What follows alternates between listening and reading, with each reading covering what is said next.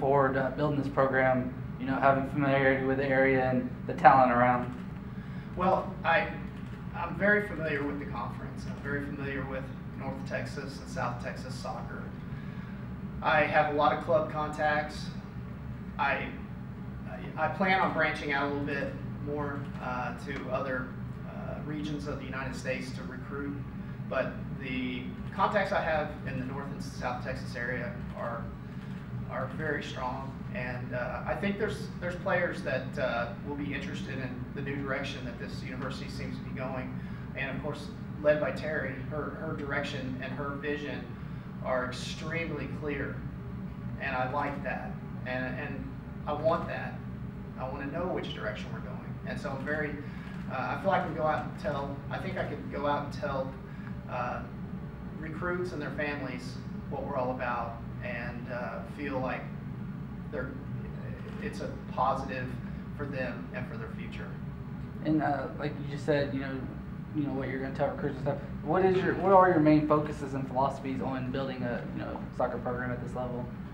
Well, first and foremost, I think you you have to find the recruiting niche for the university that you're working within, and really pursue it and believe in what you're you're presenting uh, and then go out and just try to locate those players that fit what the university is all about and fit what uh, what I want to do as far as the soccer team goes, and uh, just pursue them and, and let them know uh, that they're going to get a great education and that they're also going to have a great time playing soccer for me. And then, uh, you know, what are your teams, you know, like, you know, traditionally, what description would your teams have? I mean, you know, I don't know if you get what I'm trying to say. Yeah. Yeah, yeah just, I mean, when they say, oh, his teams are going to do this, and Well, I think that one of the things that every team I've ever coached has been a little different than the previous team. But one thing that is for sure is that we're going to be uh, a hardworking team. We're going to be organized defensively. Uh, we're going to uh, try to capitalize on our opportunities, and we are going to make pursuing excellence on the soccer field a priority. Talk about some of, you know, so what was like the defining moment? When did you realize that LeTourneau was the right fit for you? After I called you about twenty times, and Matthew called him. Yeah. Oh, you know, I've, I've really, the past uh, five years, I've really, really drawn closer in my walk with the Lord.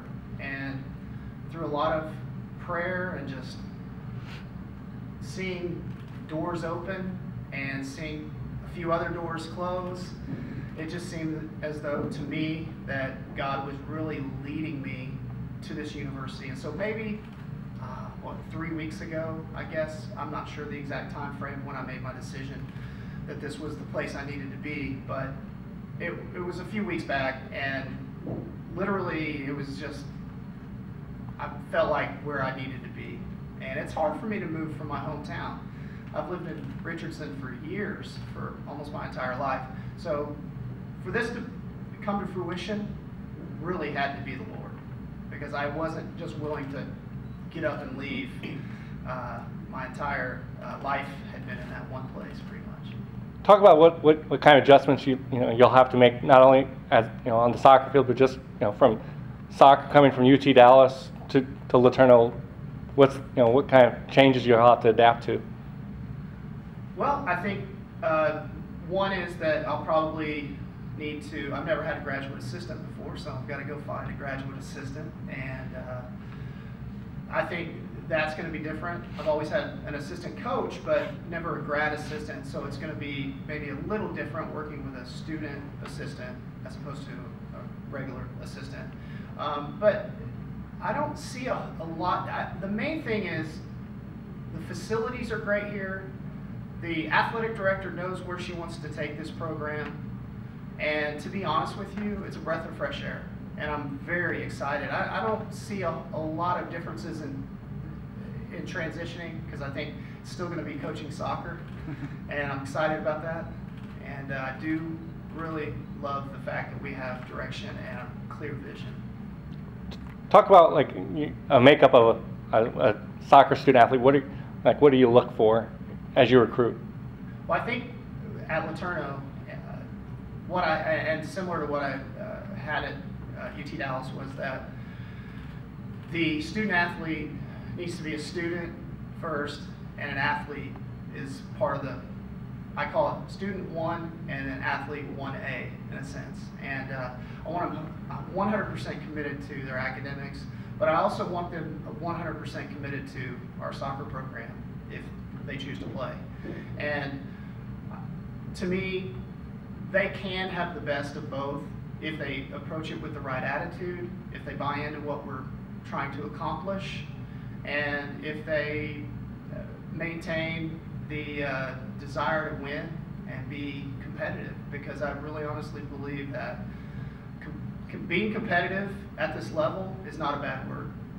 I think a lot, of, you know, it, it's something that I think needs to be a, a, a priority.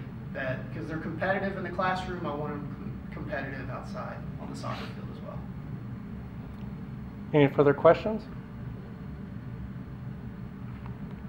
Thank you, folks.